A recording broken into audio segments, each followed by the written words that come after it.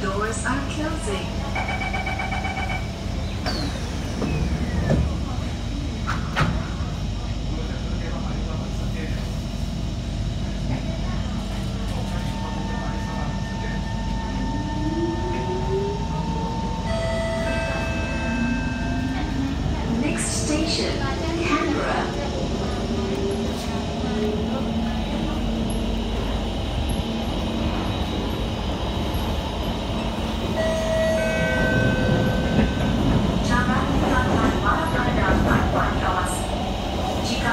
menimpa orang atau barang yang mencurigakan, sila laporkan kepada kaki tangan kami atau tekan di